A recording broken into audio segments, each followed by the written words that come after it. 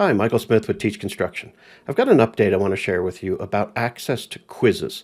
Now, these are quizzes specifically for our customers that use our instructional resource library and those that use it with Google Classroom. Okay, so this is specific to ways of helping you save time in using our quiz question bank, but instead you're actually copying quizzes we've already made and put them into your courses. So let's just jump right in.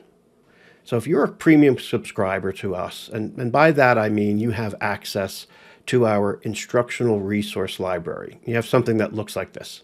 You have access to over 500 links of individually accessible instructional resources to build into your learning management system. In this case, we're talking about Google Classroom. So let me jump to wall framing, one of my more appealing topics, I think. So in our wall framing section, if you've gone through any of our course tabs here, you have access to videos, you have access to PowerPoints, you have access to vocabulary and quizzes or quiz questions.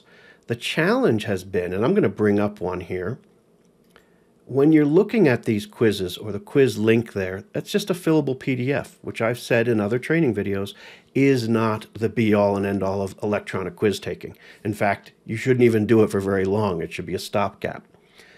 So what you really want to do is build all of these quizzes into your Google Classroom, but it's a huge amount of work. It takes us probably maybe 40 minutes per quiz to create and we're pretty comfortable doing it. So if you don't do it a lot, it could take you an hour, an hour and a half to create a quiz. And there are a bunch of them. We've got the solution to make some of that time less time. So you may have seen these. These are the quizzes. All the questions are the same. And this is just a fillable quiz. If you're still doing paper quizzes and printing them in class and grading them, all the power to you. Keep watching because if you want to do this with Google Classroom, you can save yourself a ton of time. So that's the quiz. If we go back to our instructional resource library and bring up the question and answer bank, this is available to you in a Google Word. Uh, I'm sorry, this is available to you in a Microsoft Word format.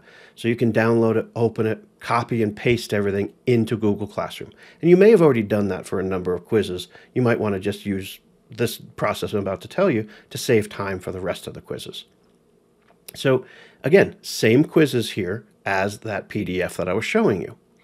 But what we can do, if I bring up my Google Drive under Classroom, that's where Google puts all of our classes, at least on my end. I think your school will be very similar. And I bring up a course that we have as Master Quizzes. What we've done is created a quiz of all of the questions we have, individual for electrical framing, measure and mark, painting. You get the point. It's all of the quizzes that we've got. I can share this with you, obviously, through Google. And if you're using Google Classroom, then obviously you've got a Gmail account. But I would share this with your school email account. You can then see all of these um, quizzes. You can download them. You make a copy and it puts it onto your computer. You then open up your Google Classroom. You use the Create New and you connect to that quiz that you just downloaded. Now, I'm going to go through these step by step for you, but for those of you who have done something like this before, you might not need that support. What you do need, though, is access to this directory. So here's what you do. If you are a Google Classroom user and you're a subscriber, premium subscriber to our services, send an email to me at this email address on your screen. In that email, tell me what school you're with so I can easily confirm that you are a premium subscriber with us. I will then share this folder with you, the same folder that you're looking at right now. That will go onto your computer. You'll be able to get access to it. And then individually, you would have to make a copy of all of these courses. Actually, you can do it as a group. You can make a copy of all of these quizzes, get access to them, put them into your course. So that's all you have to do. Now, I'm going to about to go through step by step of how you do that Again, if you don't need that level of support, send me that email. I'll give you access to this. If you do, and you're going to stay on with me here in a moment and watch that step by step, still send me an email and say, I'm going to want to have access to that folder. I want to copy all of those quizzes.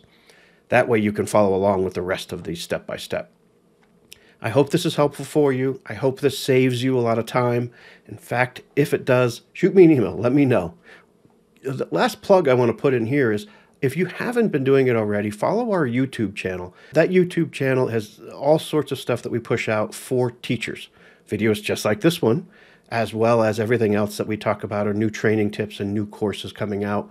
We're doing a new exploration of careers. There's two of them that we just posted, uh, probably since last I put an, an update out for all you folks. One's about jobs in civil construction, and we just put one out about jobs for solar installation. And we have a bunch more course content coming out solar power, solar thermal, um, energy efficiency and building science, as well as code compliance. Okay, I'm going to shut up and jump right into step by step process. So, the first thing you should have done, and if you haven't done it, is send me an email. Here's the email address. Say, give me access, please, to the all the quizzes. I will give you access. And what you do, and you'll be alerted to that on your email, is you go to your Google Drive, click Shared with Me, and you're looking for this folder. It says Teach Construction Master Quiz Course. Because what this is, is really a repository of quizzes through Google Classroom. Double click on it, make sure you have access to all of these quizzes. Here it is. I'm looking at all of the quizzes that we have 43, 45, something like that. Um, now you know you have access to them. The next step I recommend is go to your Google Classroom. This is my Google Classroom I set up under my personal account. I created a Michael testing class here just so I have it and I know where to put folders. Now, I am not sure about how your system or where your school folder structure is. I'm just going to assume that it is still under the category of classroom. So let me show you why that makes sense or why that is important. I'm going to grab this quiz, let's say framing corner assemblies and uh, blocking. If I right click on this quiz, I can say make a copy. That quiz is now being copied and downloaded from my Teach Construction area that I shared with you into my email address, which should look exactly like yours.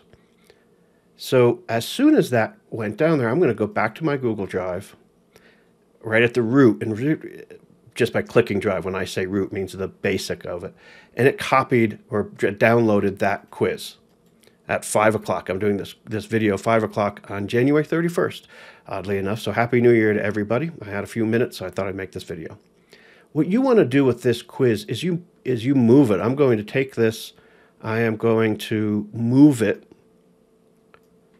to Google Classroom on my on my drive. And I'm going to put it under that Michael testing class that I had said and move here and then move it. This is just the process of keeping your Google Drive area clean and keeping it organized. So let's say this copy of framing headers. I did this one as I was testing before I turned the camera on. So I'm going to take this one, I'm going to right click, I'm going to move it to classroom Michael testing class and say move here. Move.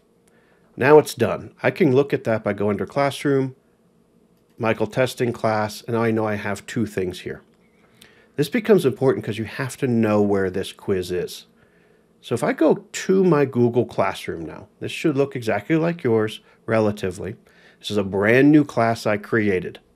So there's really nothing in here if I click on classwork. Absolutely nothing there. I'm going to click Create. So instead of creating a quiz, you don't want to do that because that'll make a new quiz. You're creating an assignment. So click Create, select Assignment, and let's title it. That was Framing Corners. You can put instructions in there if that's what you typically do. But the key that we want to do is add a Google Drive file. You can upload files, you can link to files, you do all sorts of things with assignments. And this is how you build your course. And watch our other video on using our resources and building out your course. That one was missing quizzes. Now you have the quiz part. So we created a quiz. We named it Framing Corners. I click Google Drive. Now, it happened to go to recent, so I know where it is. But what I have a tendency to do is go back through and make sure I have the right class. So these are just kind of some best practices. So I click My Drive. I have classroom. I know I have Michael testing course, and I'm, i have two quizzes in there. We're talking about um, framing corners in that case, so I linked to that course, and now I hit assign. So now it's in my area. Now Google Classroom was giving me some other tips and make my course a little cleaner, and I recommend you do those. This is, but this is just an example. So now I have a framing corners quiz directly in my classroom from a copy that you got from Teach Construction. That's it. Now, obviously, you want to do this over and over for all the other quizzes you want to create. You want to link to videos, link to vocabulary, link to PowerPoints uh, or Google Slides if you want to provide that to students. Link to anything you want. But in this case, you downloaded a quiz. You know what? I'm going to go through it one more time. And for those of you who figured it out by now, fantastic. You're off and running. I'm glad we can help. Please send me an email if you have any questions. If you want me to go through it again, stay tuned with me, and that's what we'll do right now. Okay, so we're going to go through this one more time. I'm going to go to the root directory, meaning the base of my Google Drive. Usually I just click up here in the top left corner. I want to go to shared with me because I want to connect to Teach Construction's server. You find this directory or this folder that says Teach Construction Master Quiz Course. Open it up and let's say you want measure and mark reading a tape measure. Right click on that, say, where is it here? make a copy. It tells me down the bottom that it's making a copy of it. And as soon as it's done, it says it's done, or I could click here and show the file location. I showed you where it was, but this is, it's just right in the root of my Google Drive, right in the basics of it. So we have now a copy of measure and mark. I'm going to take this, I'm going to move it, I'm going to move it to Google Classroom, Michael's testing class, that's a class that I built for this demonstration. And let me scroll down a little bit, move to here, and move to there. So that just moved it so it's in a nice organized fashion. I'm going to open my other tab. This is my this is my testing class. I click create. I click assignment, not create a quiz because that will create a new one. You want to connect to a quiz. So create, create assignment, give this a name. It was measure and mark, I think we go to here to add Google Drive file or connect to a Google Drive file. I go to my drive, classroom, Michael testing. Now I have three quizzes there. Your path may be different. Just follow the path that you you you normally use, or talk to your tech folks and find out where on Google Drive all your your course things are, are saved. I select the one I want, which is copy of measure. I hit assign. Now, I did not do any of the add the due dates or any of that. I'm making the assumption that you've used Google Classroom before.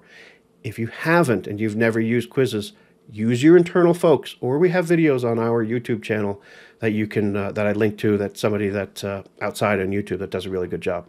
We're not here to teach you everything about it. I'm just here to show you how you can get a copy of our courses. So now in this testing class, I have measure and framing corners. These are both quizzes Obviously, you could go in, set due dates, set points, all that stuff, but we have the quizzes built in here with graphics, everything else. Yes, I know these are upside down. Um, I don't know if you've heard of me one, one of the other videos, but when you use a tape measure, right, I'm right-handed, so I pull a tape with my left hand and I mark with my right hand. That means my tape is upside down all the time. So when we do quizzes, we provide some of these with the tape upside down because that's how most people being right-handed are. Tape measure is a left-handed tool. Congrats if you're a lefty. And if you ever figure out someone who wants to build a new tool and make a right-handed tape measure, please let me know, because all it is is the tape inverted, right? It makes a lot of sense, and I don't know why they don't do it. All right, that's it. That's the process. If you're still interested now and you are saying, well, great, I can make quizzes, maybe I should build out my Google Classroom, or you're brand new to using Google Classroom, we have another video about building your course out with Google Classroom resources. It's on our website, uh, it's on our YouTube channel. If you can't find it, hell, shoot me an email. Also, last plug we are doing streaming sessions on, uh, we're going to start on Fridays. We're going to stream about a variety of different topics. Look for it in your email. You'll see some information about it. If you don't get our notifications normally, send me an email and say, add me to your list. Have fun with this. Shoot me an email if you have any questions. Thank you for all you do for teaching the next generation of trade workers, and good luck with this coming semester.